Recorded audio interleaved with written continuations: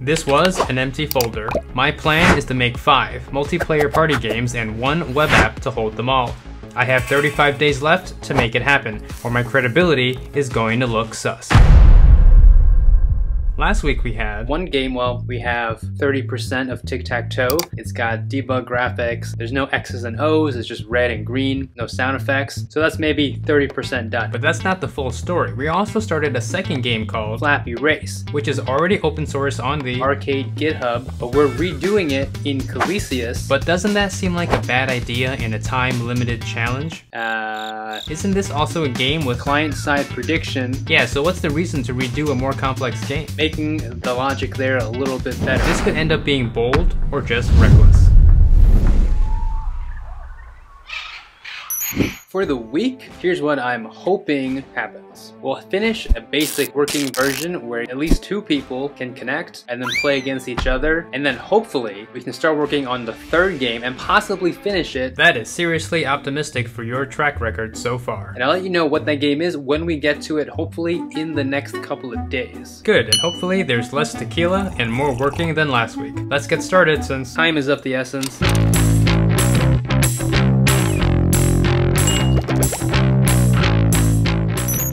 That was a few hours. Great, what do we have? Not too much. Okay, well, how's the client-side prediction going? The game is basically in lockstep right now. So there's no client-side prediction. So we're maybe 40% of the way there. Let's see what we can get done tomorrow. I'm back. Uh, you weren't gone that long. And I actually just had some breakfast. You've got some bacon, eggs, and this thing over here is liver. That's gross. It's very nutritious. Whatever floats your boat. I had already done a few hours of work here trying to figure out this client-side prediction. I don't have it quite working perfectly yet. I'm trying to debug what's wrong. Looks like the bold versus reckless meter is leaning towards reckless. Some of the strategies that I use to help me do this is number one, draw all these debug rectangles. But having all this debug is not always enough. And when the game moves at 60 frames per second, trying to see what's going on is really hard. What can we do about that? What I do is I'll just slow it down to one frame per second and make sure that's working. And then further bump up the frames per second and see where things break. How interesting. So that's kind of where I'm at right now, so I'm gonna get back to it.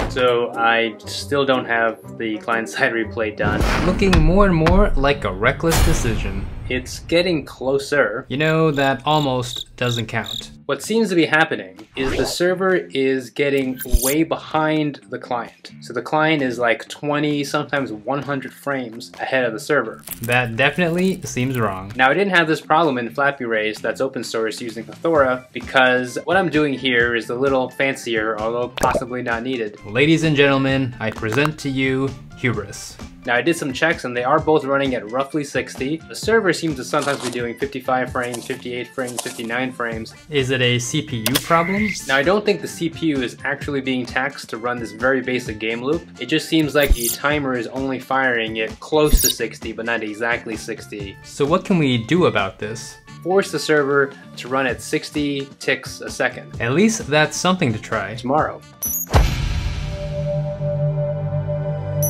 Well, I did it. But it didn't come easy. The initial problem of the server being way behind the client was fixed. But then, we had some more problems, in fact, two other issues. What were they? But first, look at how nice this client-side prediction is working. You trying to show off? But this is not how it looked when I initially fixed the server sync problem, which really only took a few minutes. And then the rest of the day was in solving these two other problems. Alright, just spill it already. So the first one is when I noticed this jump in the bird. So you tap to move, and it moves and then it kind of comes back and then moves back up. That's not right. That definitely seems wrong, so how did you debug it? I started eliminating the client-side prediction, removing the extra boxes that doesn't confuse me. I also used the debugger to check values as the game was running, what I really needed was just a stream of all the velocities. And while looking through the velocities, I noticed this guy. What is this sudden jump? Yeah, why is that there? I had a piece of code that was syncing the server's values on each patch back into the client, and so the client would basically move to a previous point in time. Great, so that's solved. And there was another one. You see here that the prediction rectangle should be exactly where the client is eventually. Yep, that makes sense. Now what we don't know is whether the bird is in the wrong place or the prediction is in the wrong place. The server is in the right place, that's the box with the black outline. So if we don't touch anything, the prediction box should be diagonal from where the server box is. Right, because the bird is falling and moving forward. Now you see that it's not. I take it you fixed it too. I fixed that. Great. Then next we'll move on to Dead Reckoning.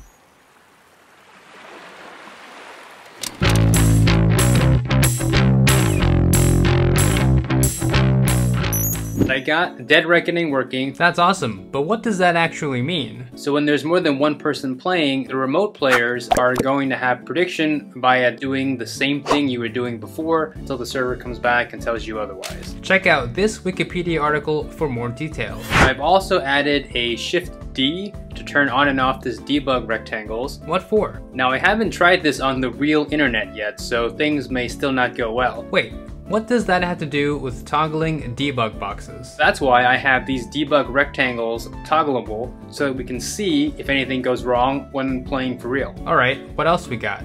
I've also added the end of game windscreen, a very basic one. This is probably not going to be the final one. And I started playing the flying animation for the birds when the game starts. Those small things make a big difference. There's still more polish for this game, including sound effects, better UI, better fonts, but we're gonna do that later. For now, this is maybe 50% done. Now what I don't have yet is a deploy for this Flappy Race game, so I gotta do that so that I can actually try it on the real internet.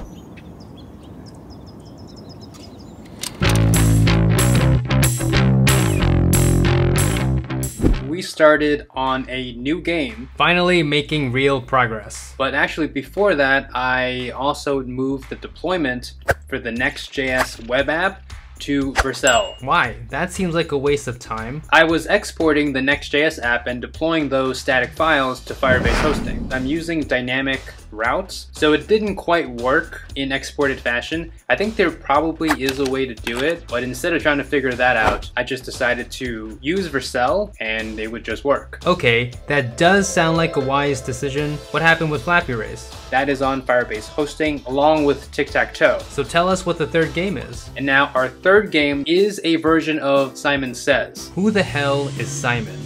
So how this game is gonna work is a bunch of people join, let's say two people, three people, four people. I pick red, and then the next person, it could be you, you pick green, but you gotta first do red, then green. And then the next person has to do red, green, and they can add yellow. For simplicity, we're gonna start with just colors. That's a wise decision. You could have shapes, you could even have sounds. It could be any number of things, and I'm kind of designing it that way already. I guess considering future improvements is not a terrible idea. Now, I didn't get very far. Setting up projects always takes a little bit. There is a room on Colyseus that I can connect to from a very bare bones phaser client. All games have to start somewhere. I'm using a lot of the tools that I've already built from the other games, so this should go faster, but we'll see. Actually didn't get too much done. Here we go again. What happened was yesterday I actually went to a concert for A.R. Rahman, popularly known for Slumdog Millionaire. He did the score. Was there tequila involved? Just that when you go to bed at 3, you're not going to really wake up at 7 or 6. At least you're not hungover. But nonetheless, I still did some stuff. What I have done so far is the first pass of the backend logic. It utilizes the state machine that I've used in Flappy Race, but my eyes are pretty tired. I think I only slept for 6 hours, just an amount. But I'm just tired from being up late at night. Isn't there some saying about sleep? Hours of sleep before 12 count more than those after 12 or something like that. Don't know why, but it does seem to be true. Some old sayings just have a lot of truth to them. Looks like someone's having a good day. Now today I had my chat with my brother that we do once a week that we didn't do last week, usually once a week. And so we did try Flappy Race. Let's see if this works. It basically worked. It was lagging on his computer it looked like his internet was a little bit slow as well. So I'm sure we can work to kind of improve that. And actually, it worked much better on his phone. Oh good, so Flappy Race worked largely as expected. That's great. Any progress on Simon Says? I was able to get some of the Simon Says front end working. I would guess that we can get most of the game done tomorrow and probably no more than the day after tomorrow. The big accomplishment this week was Flappy Race, and for next week, hopefully start on the next game, which is different than what we've done so far. And you'll find out what it is in the next video. Watch the next video to keep following along and subscribe for more of this series to make 5 multiplayer party games. We've got 2 games that are half finished and just 28 days left.